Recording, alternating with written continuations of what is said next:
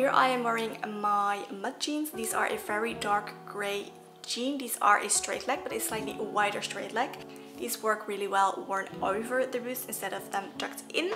And I am wearing that with my Sézane Leontine jumper. And I actually think this looks even cuter with the jumper tucked in a little bit.